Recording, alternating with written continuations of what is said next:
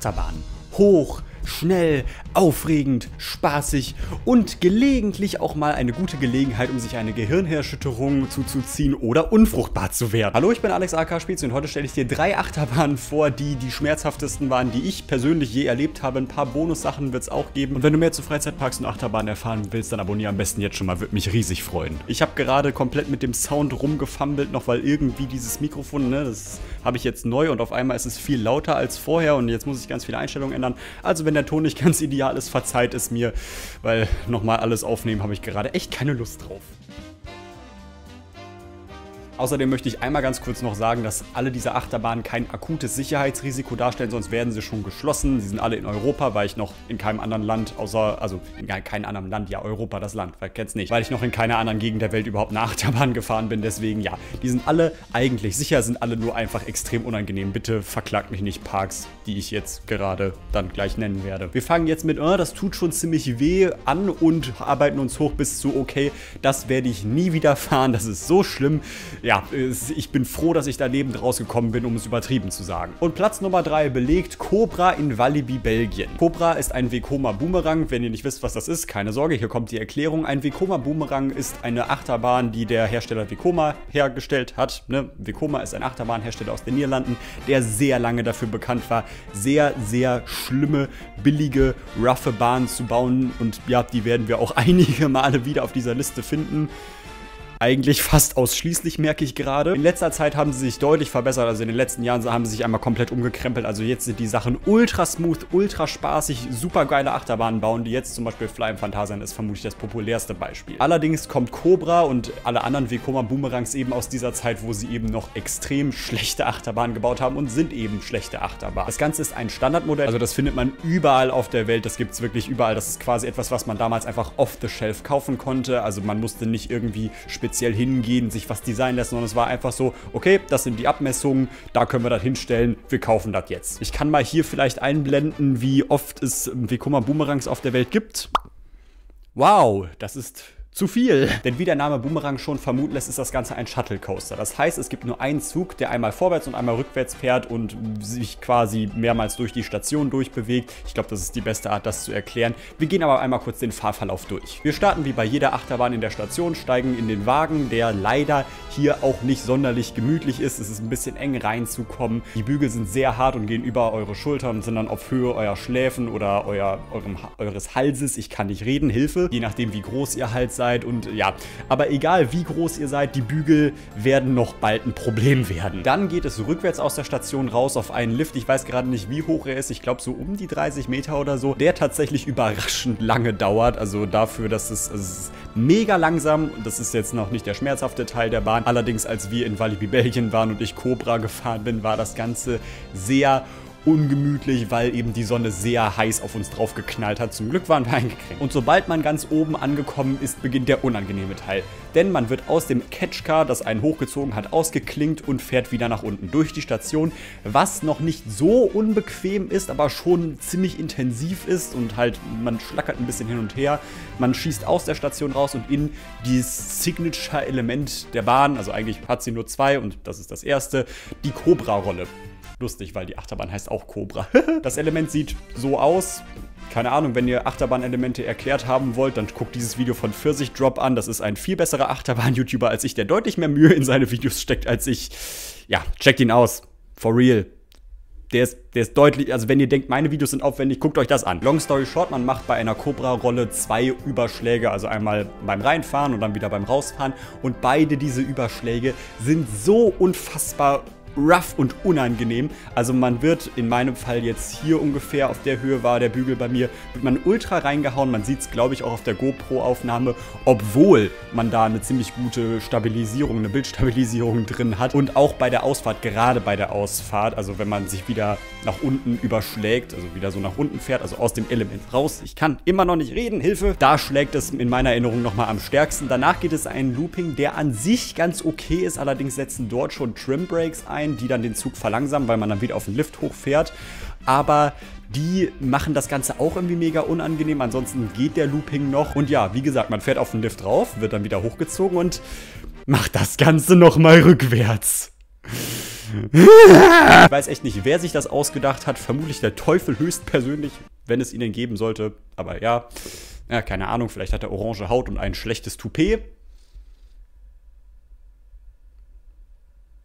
Politik in meinen Videos, ne? Ist ungewohnt. Aber ja, rückwärts das Ganze ist echt nicht angenehm und ja, man kann sich da auch noch viel weniger darauf vorbereiten, weil man eben nicht genau weiß, was kommt. Also ich halt schon ein bisschen, weil man halt so ein bisschen das Layout schon kennt. Das ist ja nicht groß anders, aber ich kann mir gut vorstellen, dass das nochmal für Leute in der Allgemeinheit nochmal schmerzhafter sein wird, weil die dann eben nicht mehr genau sich im Kopf merken können, was jetzt gleich kommt. Tatsächlich das Allerschlimmste an der Bahn fand ich allerdings die Endbremsung. Also man fährt, ne, das Ganze wieder rückwärts lang, durch die Station durch, wird langsam, wird etwas abgebremst, fährt leicht auf den Lift wieder hoch, fährt dann wieder gravitationsbasiert nach vorne und wird dann so abrupt abgebremst. Zum Glück hatte ich das vorher noch gesehen und hat meinen Freunden direkt gesagt, hier, könnte ich kurz abspielen. Achtung, gleich, gleich die Bremsung ja. ist sehr stark. So klingt ein Mann, der wahre Angst verspürt. Die Angst vor einer abrupten Bremsung auf einer Achterbahn. Und damit zurück ins Studio. Warum bin ich Batman geworden? Aber ja, diese Bremsung kann ich mir gut vorstellen, dass wenn man sie nicht kommen sieht oder sich nicht auf sie vorbereitet, dass die nochmal so ein kleines Sahnehäubchen auf die scheiße Torte aufsetzt, die diese Achterbahn ist oder diese Achterbahntypen. Wie bereits gesagt, fand ich diese Achterbahn extrem schlecht und uninspiriert und das, wir haben auch überraschend lange dafür gewartet, deswegen war das nochmal blöder für mich so ein bisschen. Tatsächlich bin ich auf dieser Tour vor ein paar Wochen, wo ich halt auch eben in Walibi Belgien war, könnt ihr da oben gerne auschecken, die Playlist nach diesem Video. Da habe ich auch einen anderen Vekoma Boomerang gemacht, der deutlich besser war und das war Speed of Sound in auch einem Walibi Park, nämlich Walibi Holland und der hat neue Züge bekommen. Die haben Bügel, die so eine Weste über euch spannen und die harten Teile davon sind so weit weg, dass du quasi deinen Kopf nicht dagegen hauen kannst. Der war trotzdem nicht sehr angenehm, hatte zwar einen coolen Soundtrack und wird irgendwie von der halben Achterbahn-Enthusiasten-Szene abgekultet, was ich überhaupt nicht nachvollziehen kann, weil ich den immer noch ziemlich meh finde. Außerdem werde ich jetzt zu jeder dieser Achterbahnen noch einen Vorschlag machen, womit man sie ersetzen könnte, wobei ich bei Cobra im Walibi Belgien nicht wirklich weiß, was man dahin machen könnte, weil viel passt nicht auf diesen Footprint, also ganz vielleicht noch irgendein Flatride, also ein Karussell oder so, aber eine neue Achterbahn wird schwierig. Vekoma, also das neue Vekoma, produziert tatsächlich auch Boomerangs mit Launches und coolen Elementen und so weiter. Da gibt es schon einen in China, meine ich, und einer wird gerade in Amerika gebaut. Aber ja, die, die haben einen ganz anderen Footprint, also die sind sehr schmal, sehr lang gezogen und würde da nicht hinpassen. Aber keine Ahnung, vielleicht kommen sie mal irgendwann mit so einer so einem Replacement auf dass man auf sowas hinstellen kann. Das wäre cool. Und mein Kameraakku geht gerade leer, sehe ich scheiße. So, jetzt habe ich einen neuen Kameraakku eingelegt, was sehr äh, schmerzhaft, nein nicht schmerzhaft, aber sehr aufwendig ist, weil meine Kamera da so ein bisschen finicky ist. Ist ja auch egal. Nummer zwei auf unserer Liste ist Guderix im Park Asterix. Und das ist auch wieder eine Bahn von Vekoma. Sie hat die gleiche Schiene und die gleichen Züge wie Cobra, beziehungsweise alle anderen Vekoma Boomerangs. Und ja, Vekoma habe ich ja gerade erklärt, was ist. Wenn ihr jetzt es schon vergessen habt, dann lasst euch mal untersuchen, bitte. Ich glaube, das kann echt, es ist, ähm, also ja, das, das sollte, also dann ist wirklich hier oben dann, äh, ja. Udrix ist ein sogenannter Multilooper, das heißt, man hat einen Lift und dann ganz viele Inversionen, also über Kopfelemente, Loopings, Corkscrews, was auch immer das missglücktes Ding hier sein soll. Fragt mich nicht. Wie schon erwähnt, hat man genau die gleichen Züge wie auch auf Cobra und allen anderen Vekoma Boomerangs. Das heißt, man hat echt nicht so einen geilen Sitzkomfort und die Bügel machen es nicht besser. Lustige Geschichte zu der Achterbahn. Ich war ja im Sommer diesen Jahr, nein, letzten Jahres, holy shit, das ist schon lange her, war ich im Park Asterix und auch im Disneyland Paris. Die Vlogs dazu könnt ihr da oben finden. Aber ich habe für diese Achterbahn nicht gewartet. Wir waren an einem relativ vollen Tag da und konnten alle Achterbahnen leider nur einmal fahren. Ich will auf jeden Fall bald nochmal dahin zurück, weil Teutates ist... Mh, mm, und auch Osiris. Oh, mh.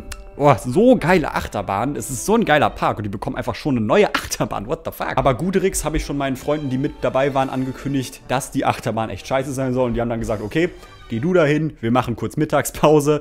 Haben wir dann auch gemacht. Ich bin dahin und auf einmal spricht mich so eine Frau an und wie Franzosen nun mal sind, sprechen sie nicht viel Englisch. Und dann hat die Frau mich so ganz gebrochen gefragt, so, ja, ob ich alleine da bin, weil sie hatten irgendwie noch so einen Skip-the-Line-Pass vom Park Asterix und haben mich dann irgendwie mitgenommen. Also ich habe nicht gewartet, ich bin auch irgendwie dann vor denen gefahren. Das war ganz komisch. Ich habe es einfach so angenommen, wie es passiert ist.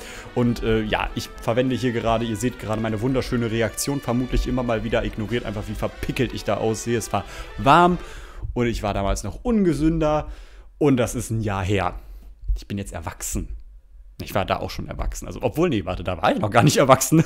Lol. By the way, gefällt dir das Video gerade? Wenn ja, gib mal gerne ein Like und abonniere auch gerne. Das ist beides kostenlos, freut mich riesig, unterstützt mich auch super gut. Ist beides, ne, kostenlos. Und äh, ja, wir machen weiter mit dem Video, bevor ich hier wieder in die ganze Like- und Abo-Battle-Live verfalle, ne? Wollen wir ja nicht haben. Abonniert, abonniert, abonniert, abonniert, abonniert. Thematisierungsmäßig hat die Achterbahn auch nicht viel zu bieten. Also McDonalds-Farben in leicht heruntergekommener Optik. Ein äh, Wikinger-Schiff als Station, was I guess ganz nett aussieht. Und es sind wohl auch Ziegen in der Ride Area. Keine Ahnung, das sind halt Ziegen. Fragt mich nicht warum. Und die Fahrt beginnt mit einem kleinen Dip aus der Station auf den Lift. Der fährt dann einen ganz hoch auf diese Höhe. Ich betreibe echt sehr wenig Recherche im Vorhinein und mache alles im Nachhinein, ne? Das merkt ihr schon. Und auf dieser finalen Höhe von angekommen macht man einen kleinen Dip nach unten, eine Kurve nach links nach links, ja. Ich habe eine Links-Rechts-Schwäche, das auch noch. Und dann geht's in den Drop. Der ist nicht sonderlich spannend, also der macht nicht viel. Der ist halt einfach so eine Rampe, also keine Airtime, keine negativen G-Kräfte. Man fährt nach unten und zwar in dieses erste Element, was ich vergessen habe, wie man das nennt. Es ist wohl irgendwie so ganz besonders und es gibt es nur irgendwie zweimal auf so Achterbahnen. Beide davon sollen sich wohl echt scheiße fahren, weil das beides ähnlich gebaute Achterbahnen sind. Und äh, ja, ihr seht ja gerade, was man da macht. Und ihr seht vermutlich auch schon, wie bekloppt die Schiene da teilweise gebogen ist. Also in diesem Element hier hier, das ein bisschen später kommt, sieht man das auch nochmal. Ich weiß nicht, was die sich da gedacht haben, als sie das gemacht haben. Also da haben sie sich echt gedacht, so, boah, die Schiene. Also, so komfortabel muss eine Achterbahn noch nicht sein, ne? Das muss wehtun. Komm, wir biegen mal einfach, wie wir lustig sind. Und dann haben sie sich bestimmt auch noch gedacht, Bruder, viereckige Räder. Das ist es. Denn die Bahn poltert wie verrückt. Dieses Shaping auf den Elementen ist so unfassbar bekloppt gemacht. Ich weiß nicht, wirklich nicht, was da schiefgelaufen ist. Und ich glaube sogar, es ist immer mal wieder irgendwelches Trackwork daran passiert. Also es wurde immer wieder erneuert und so weiter. Und also zumindest habe ich überall äh, Berichte davon gefunden. Und hier ist bestimmt gerade ein Foto, das ich einblende, wo Park Asterix das komplett in so Baugerüste eingehaust hat. Es hat nichts gebracht. Egal, was die davor vor meinem Besuch gemacht haben, nichts hat davon was gebracht. Und nach allem, was ich höre, ist das Ding immer noch unfassbar scheiße. Also es fährt sich wie Müll. Das Shaping ist Dreck. Ein paar von diesen Standardelementen, also dieser Looping, fahren sich in Ordnung, weil das halt so ein Standardelement ist. Da kann man nicht ganz so viel falsch machen zum Glück. Aber ja, diese besondereren Elemente, die sind einfach, ja, guckt sie euch an. Ich glaube, die müsst ihr nicht mal gefahren sein und ihr müsst nicht mal ein Achterbahn-Enthusiast sein, um zu verstehen, dass das nicht so aussehen sollte. Nicht so wie Koma. Böses wie Koma. Nein, wenn ich richtig liege, war die Achterbahn zum Eröffnungszeitpunkt, glaube ich, sogar die mit den meisten Inversionen auf der Welt. Ist sie jetzt heute nicht mehr. Ist mir auch relativ egal, bin ich ehrlich. Aber das Schlimmste daran ist, die verdammten Franzosen, die das Teil lieben. Die Locals dort, also ne, Park Asterix ist ja in der Nähe von Paris, also in Französien. Das heißt, Park Asterix, also die Crowd da in der Allgemeinheit, liebt diese Achterbahn aus irgendeinem Grund. Ich habe, also das kann ich vielleicht auch einblenden, es ist vielleicht ohne Ton nicht ganz so wirksam, aber in diesem Moment hier habe ich, als ich aus Gudrix rauskomme, zwei Leute gesehen, die begeistert von Gudrix runtergekommen sind und direkt wieder in den Eingang reingelaufen sind. Schaut euch dieses fassungslose Gesicht an. Ich kann es immer noch nicht verstehen. Jan, if you're watching, uh, you can write in the comments, why are Franzosen, oh God, yeah, my English is, is great when I have to improve it, uh, when I have to improvise. Yeah, you, you know, why, why are Franzosen masochists? Why? I don't know, I think you, you don't like, uh, you don't like Goodrix, uh, but ja, ja. Für alle, die Jan nicht kennen, war das jetzt extrem verwirrend. Das ist ein Planet Coaster YouTuber, den ich zufällig im Plopsaland getroffen habe auf meinem Trip neulich. Allerdings kommen wir nur zum spaßigen Teil, nämlich womit könnte man diesen Drecksack ersetzen? Also nicht Jan, sondern die Achterbahn. Denn dort haben wir deutlich mehr Fläche zur Verfügung und die Betreiberfirma von Park Asterix, das ist auch die gleiche wie in den Walibi Parks, nämlich äh, Kompanie des Alps ist es, meine ich. Glaube ich. Wenn nicht, korrigiert mich bitte in den Kommentaren. Und die pumpen unfassbar viel Geld rein. Ich habe es ja gerade schon erwähnt. Park Asterix kriegt unfassbar viele Neuheiten. Die haben 2023 Toy Tatas bekommen. Ultra geile Bahn. Bekommen dieses Jahr bzw. nächstes Jahr einen Gerstlauer Spinning Coaster und sollen noch viel mehr Erweiterungen über die nächsten Jahre bekommen. Neue Hotels, neue Achterbahnen und tatsächlich wohl auch ein Replacement für Gutrix irgendwann um 2027 rum, wenn ich das richtig gehört habe. Kann aber auch sein, dass das irgendwann auf irgendeinem Forum nur Wunschdenken war. Denn ich finde, wir haben ja gerade schon drüber geredet, Vekoma macht heutzutage echt geile Achterbahnen. Also ich kann euch mal hier eine POV einblenden. Das sieht schon so satisfying aus, wie das da sich um die Schiene windet und die Fahrfiguren. Wunderschön, kein Mac-Produkt, aber boah, ich bin da richtig Fan von. Ich liebe auch, wie die Schienen aussehen für alle Leute, die nicht Season Achterbahn Enthusiasts sind, dann denken sie sich, what the fuck, warum denkt er sich jetzt hier bei der Schiene, boah, geil. Check das Smash or Pass aus. Aber ja, so ein moderner Vekoma Looping Coaster, vielleicht sogar mit ähnlichem Layout oder inspiriertem Layout, wäre ganz cool, weil ich kann mir vorstellen, dass wenn so Modern Day Vekoma, das ist ja im Prinzip einfach eine komplett andere Firma, ankommt und da so ähnliche Elemente macht mit neuen Twists und so ein bisschen und ein bisschen mehr Airtime und so weiter, könnte das eine echt geile Bahn sein. Aber egal was ihr tut, Park Asterix, bitte kopiert nicht nochmal dieses Color Scheme. Rot und Gelb, das ist einfach so, das ist dann die McDonalds Achterbahn. Das ist hässlich. Lass das. Mach irgendwas Cooles draus. Und stellt mich an dafür am besten und bezahlt mich sehr gut. Danke. Je m'appelle Baguette. Nun kommt der angekündigte Bonus, denn wir gehen, wir bleiben im Park Asterix, wir gehen nicht. Und zwar gehen wir in etwas vorderen Teil vom Park und zwar die zweite Achterbahn, die wir dort gemacht haben, nämlich Voldi Icare spricht man bestimmt nicht so aus. Das heißt übersetzt der Flug des Icarus, ne? weil Park Asterix ist ja so ein bisschen auch so antik und so weiter, halt wie Asterix und Icarus, ne? Und so. Das Ganze ist eine Achterbahn von Zira, nicht von Vekoma. Zira ist ein deutscher Hersteller, den ihr sehr wahrscheinlich nur von so kleinen Kinderachterbahnen kennt. Also zum Beispiel diese Standard-Layouts, die in Trips drin zu finden sind. Und auch in vielen Märchenwäldern steht dann immer so, das ist oft dann so eine Marienkäferbahn oder so die extrem laut sind und sich nicht so geil fahren, aber I guess ganz nett für Kinder sind. Das hier ist allerdings keine Kinderachterbahn und ich weiß auch gar nicht, was genau das für ein Typ ist. Man hat so ganz seltsame Zweiersitze, äh, nicht Zweiersitze, doch, man sitzt zu zweit auf einem Sitz, also vor dir kann auch noch jemand sein. Zum Beispiel deine Freundin oder dein Freund oder Beziehungspartner, whatever. Also wenn man einen hat. und das Layout ist auch etwas zippier und macht eigentlich auch zu einem gewissen Punkt echt Spaß. Es ist lustig, die Thematisierung ist überraschend gut gemacht, so wie so ein kleiner verfallener Tempel und so. Ist eigentlich alles echt cool und die Kuriosität hat mir auch irgendwie gefallen. Aber dann, man hat ja auf einer Achterbahn oft Breakruns, also Bremsen, wo man im Notfall die Wagen anhalten kann, damit eben mehr Leute auf der mitten.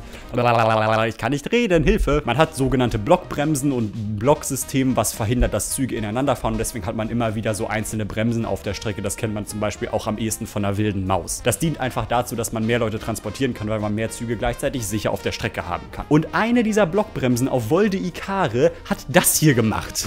Oh Gott. Ja, praktisch eine Vollbremsung und weil man so viel Platz zum Bügeln nach vorne hat, ich saß alleine, weil aus offensichtlichen Gründen, aber ich bin komplett nach vorne in den Bügel geflogen. Das Ding hat mir so einen harten Schlag in den Magen verpasst und ich bin eigentlich dann sogar ganz froh mal zur Ausnahme, dass da niemand vor mir saß, den ich dann mit meinem Gewicht und der Zentrifugalkraft von dieser Bremsung auch noch in diesen Sitz gedrückt habe, äh, in diesen Bügel gedrückt habe ja, kann mir sehr gut vorstellen, dass das bei vielen Leuten dazu führt, dass sie den kompletten Tag einfach knocked out sind. Also nicht knocked out im Sinne von, sie sind komplett ohnmächtig, aber dass sie ihnen dann den ganzen Tag lang schlecht ist, sie auf keine andere Achterbahn mehr gehen, was schon echt kacke ist. Allerdings ist der Rest der Bahn eigentlich ganz cool, wie ihr gerade schon gemerkt habt. Deswegen ist das nur eine Bonusplatzierung.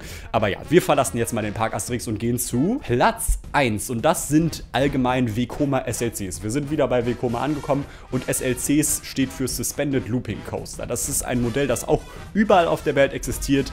Hier ist wie oft wow, das ist viel zu viel. Und davon habe ich eben mittlerweile zwei gemacht, eben auch auf dieser Belgien- und Niederlande-Tour, beziehungsweise Benelux-Tour ohne Lux. und die waren auch in den beiden Walibi-Parks. Das war einmal El Condor in Walibi Holland. Das war sogar der erste SLC, der jemals gebaut wurde. Dort hat es begonnen, dort wird es enden. Und Vampire in, äh, oh Gott, jetzt habe ich, äh, Walibi Belgien. Ich, ich, will immer Holland sagen, ich weiß nicht warum. Das sind, wie der Name schon sagt, Suspended Coaster, also Achterbahnen, wo man unter der Schiene hängt. Und ihr kennt das Modell vielleicht von MP Express bzw. Iron Claw aus dem Moviepark. Äh, was noch? Äh, Toxic Garden oder bzw. Limit im Heidepark. Und ja, ich glaube, es gibt noch ein paar andere Parks, wo dieses Teil existiert in Europa. In Amerika steht das auch überall rum. Und wenn ihr sowas mal gefahren seid, dann denkt ihr entweder, ui, das war aber intensiv. Oder wenn ihr es besser wisst, dann wisst ihr, oh scheiße, das war eine der schlimmsten Achterbahnfahrten auf der Welt. Warum reißen die das Teil nicht ab? Warum sind diese Dinger nicht illegal? Der erste SLC, den ich gefahren bin, war eben in Walibi, Belgien. Das war Vampire, passendes Thema, ein Blutsauger. Und von der Präsentation her ist das eigentlich ganz cool. Also diese Station ist cool gemacht und das, man über so eine Brücke geht, ist cool und so. Die Bahn sieht sogar ganz okay aus, Allerdings ist sie halt Vekoma-typisch extrem rough. Und hier hat man eben so ganz große, bulky Over-the-Shoulder-Restraints, wo man schön den Head, äh, seinen Kopf reindengeln kann. Ich habe mich extra so nach hinten versteift. Hat nicht viel gebracht. Das Ding hat gerüttelt wie Sau. Man fährt halt, ne, man fährt den Lift hoch. Ich glaube, die Dinger sind auch nochmal irgendwie 30 oder irgendwas darüber Meter hoch. Hat so eine Curved Abfahrt, die absolut nichts macht. Und dann so ab der Hälfte merkst du, oh scheiße, das schlackert wie die Hölle. Und dann fährt man eben durch mehrere Inversionen. Und gerade diese Rolle hier, der Eingang in diese Rolle und der Ausgang waren so ein harter Schlag. Ich weiß nicht, was da ist. Also es war echt so BAM! Auf einmal wurde ich so zur Seite geschleudert. Es war nicht angenehm. Und El Condor ist nochmal ein anderes Biest. Tatsächlich hat diese Bahn auch neuere Züge bekommen. Also wie Speed of Sound, was ich gerade bei den äh, Vekoma Boomerangs erwähnt habe, hat man hier eine Weste. Also man hat äh, keine harten Bügel. Trotzdem rüttelt das Ding wie die Hölle. Und irgendwie haben sie es hinbekommen, dass diese Achterbahn vor und zurück wackelt. Ich weiß nicht wie. Aber das ist so vor allem die Sensation, die ich bekommen habe. Und wenn dieses Teil Over-the-Shoulder-Restraints hätte, wäre ich dort gestorben. Ich bin überzeugt davon. Das wäre kein, hätte kein gutes Ende genommen. Ihr hättet nie diese ganzen tollen Vlogs gesehen. Ihr würdet mich jetzt nicht sehen. Also vielleicht auf YouTube im Jenseits oder so. Keine Ahnung. Vielleicht komme ich auch in die Hölle. I don't know. Aber diese Bahn ist einfach echt kacke. Beide Bahnen davon, also mit den Westenbügeln ist es noch in Ordnung. Mit diesen Originalbügeln ist das eine Katastrophe. Und ja, die Fahreigenschaften sind unfassbar kacke. Es soll wohl einen einzigen SLC auf der Ge Welt geben. Ich habe gerade den Namen vergessen, ich blende ihn euch bestimmt gerade ein, der einmal komplett retrackt wurde. Das heißt, komplett neue Schienen, einmal komplett überarbeitet, quasi eine neue Achterbahn, nur mit gleichem Layout. Und der soll sich wohl echt gut fahren und deswegen auch einer der besten SLCs, also der beste SLC erstmal sein, gleichzeitig aber auch eine echt gute Achterbahn sein. Und das kann ich mir tatsächlich sogar vorstellen, weil eigentlich sind das kraftvolle Bahnen mit vielen Überschlägen. Gerade dieses erste Element, wenn das smooth wäre, könnte ich mir richtig gut vorstellen, dass das richtig geil ist. Aber ist es halt nicht. Und wenn du da halt so die ganze Zeit rumschlackerst und vermutlich als jemand in der allgemeinen Public, der so vielleicht noch ein bisschen mehr Angst hat vor Achterbahnen, da würde ich auch anfangen zu denken, okay, scheiße, das war's. Das fällt hier gleich alles auseinander, ich bin tot. Äh, ja, tschüss alle, die mich jemals geliebt haben. Passiert natürlich nicht, aber you get the point. Tatsächlich hat Vekoma allerdings mittlerweile ein Nachfolgemodell davon auf den Markt gebracht, nämlich den Vekoma STC, den Suspended Thrill Coaster. Das ist, bisher gibt es da nur zwei Anlagen von, eine in Irland, die vermutlich den meisten von euch nicht ganz so viel sagt, und Hals über Kopf in Trips Trill, was vielleicht mehr Leute von euch kennen, weil es eben in Deutschland ist. Und das sollen unglaublich gute Bahnen sein, also für Suspended Coaster einige der besten, die es auf der Welt gibt. Es sollen wohl auch immer mehr davon gekauft werden. Die werden oft mit so einem kleinen Family Boomerang verkauft und das macht ultra coole Interaktion zwischen den beiden Bahnen. Und ja, das sieht einfach cool aus. Ich werde auf jeden Fall irgendwann mal Vielleicht nächstes Jahr nach Tripsdrill oder so, I don't know. Aber wenn Vekoma so eine Standardausführung von diesem Modell rausbringen könnte, die sich quasi an dem Footprint von einem SLC orientiert, wäre das so geil. Weil stellt euch mal vor, viele Parks, kann ich mir gut vorstellen, wollen das Teil auch loswerden. Aber es, also früher, als die die gekauft haben, waren die halt billig und haben die Massen halt beeindruckt, weil, oh, man hängt unter der Schiene, wie beeindruckend und so. Und man ist so oft über Kopf. Wow. Aber mittlerweile kann ich mir gut vorstellen, dass viele von den Dingern auch von der Allgemeinheit in die diesen Parks einfach verhasst sind, weil sie einfach nicht angenehm zu fahren sind. Die Teile wegmachen und ein geiles neues Replacement von einem Vekoma STC dahin packen, vielleicht sogar mit einem ähnlichen Layout, könnte echt geil sein und das wäre so cool. Das ist, gilt für beide Parks, die ich da, wo ich das jetzt bisher gefahren bin, also Walibi Belgien und Walibi Holland, natürlich mit separater Thematisierung. Zu Walibi Holland werde ich, glaube ich, auch noch mal ein komplettes Verbesserungsvideo machen, falls ihr das nicht gesehen habt, den Vlog. Ich fand den Park leider nicht so geil, aber ja, Vekoma SLCs, wenn ihr das seht und nicht darauf versteift seid, euch so viele Achterbahn-Counts wie möglich zu holen, verzichtet auf die Dinger. If in there you go. Only pain you will find. Mm. Und mit dieser Meister Yoda-Impression, warum auch immer ich die gerade gemacht habe, verabschiede ich mich nun. Und äh, ja, falls ihr noch nicht abonniert habt, macht es gerne. Es macht mir eine Riesenfreude, unterstützt mich kostenlos. Und ja, wir sehen uns beim nächsten Mal, weil eigentlich kommen wöchentlich Videos, wie auch immer. Wir sehen uns beim nächsten Mal, habe ich gerade schon gesagt. Und jetzt die Verabschiedung. Tschüss. Ihr denkt bestimmt, dass er es vergessen hat. Ihr denkt bestimmt, er hat es nicht beachtet. Oder vielleicht denkt ihr, dass er es zur Seite geschoben hat, um gewissen Personen in diesem Space zu gefallen. Aber nein, ihr hört die Melodie in eurem Kopf klingen und er tut es auch, denn es gibt keine Anomalogie.